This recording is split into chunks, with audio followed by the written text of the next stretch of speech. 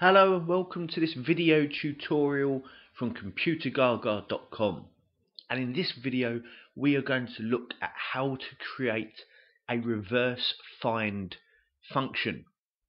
Now you might be familiar with the find function typically used with left or with mid to help extract text from a cell. But maybe in this example I want to extract the text after the last hyphen character. So you can see that the first one has two, the second one has one, the next one has two, the next one has three, etc. And I need the last one. So I want to go from the end of the string and search for the hyphen backwards rather than going from the start searching for it like you would typically do. Now, I have already got the answer here on screen. The formula is going to look like this. This is what it's going to look like. And for the rest of this video, I'm going to write this in front of your eyes and explain each part of it to you. Now the first thing we need to do is find out how many occurrences of that character there are. So for me, how many occurrences of a hyphen and this is how we're going to do it. I'm going to use the substitute function.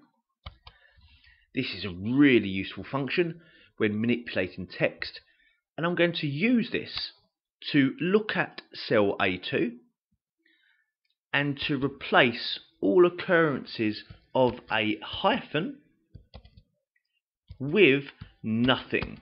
So I've got an empty string there. That's what I'm going to get it to do.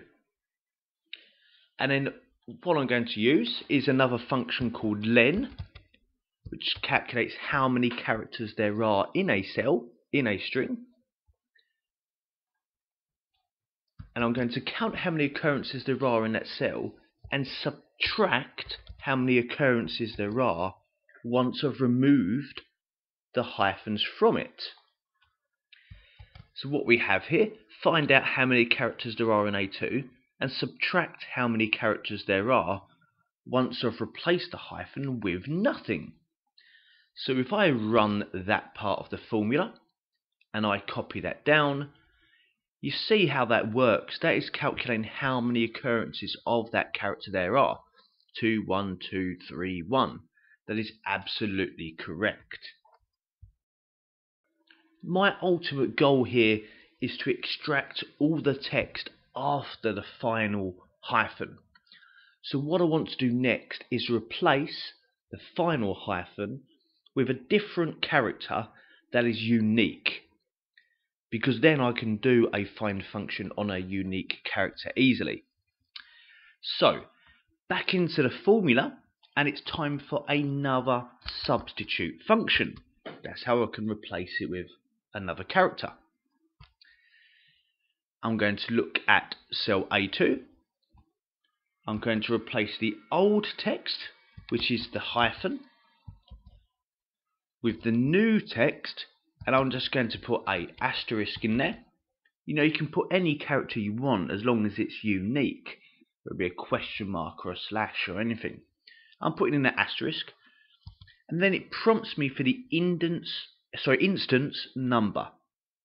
Now I've already got this formula in here that's calculating how many there are. So that basically will come back with like the last one, like the last instance. And that's exactly what I want. So I'm just going to put a closed bracket on the end there. So I'm kind of saying replace the final hyphen with an asterisk and then I can hunt down that unique character for my extraction. Please just bear in mind that if you wanted something like the second from last hyphen or the third from last hyphen or whatever character you're using, you can simply put like a little takeaway one on the end here. So I find out how many there are, you know, subtract one, so that's the second from last.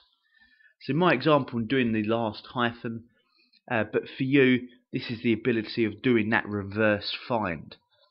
You know, it's given the appearance of kind of looking backwards by finding the last one, the second from last one. Okay, so let me press enter on there and you can see what that's doing on its own is it's just replacing the last occurrence of a hyphen with an asterisk. And now we're on to the next part of the formula. Now in this last part of the formula, it's time now to actually extract the text. So at the start of the formula, it's going to be the right function. I'm taking text from the end. That's going to prompt me where the text is. It's A2. And then it will prompt me for how many characters. Now it depends how many there are after the last hyphen. So I'm going to do a similar thing here to what I did in the very first kind of part of the formula when I calculated how many hyphens there are. Kind of similar behavior here. I'm going to use the len function to find out how many characters there are in total. And I'm going to subtract from that the position of the last one. And now to find that, that's where the find function will come in. That is going to find the asterisk. So that's what I've put as a marker in place of the last one, isn't it? Within this piece of text, all that stuff that's there. So I'll close bracket on the end there. That is the find function being closed. So then I need one more for the right function. And if I run this, that is extracting the last two characters. So let me open it up one more time. This is saying take some text from the end, ask how many. You'll find out how many there are in total and subtract from that the position of the asterisk. So you look in the one below and what it's going to do, it's going to say, oh, it's the, the asterisk is the third character. In total there are four. Four take away three, take one from the end. Is how it's going to work. So that is the final formula. I can now copy that down and that will extract the text of what I need. So I'm extracting text after the final delimiter, the final hyphen here. As I mentioned earlier in this video, you can adapt this so it finds the second from last or the third from last, performing what appears like a reverse find uh, formula. I hope you enjoyed this video. Please check out some of my other video tutorials on my YouTube channel and come check us out at computergaga.com.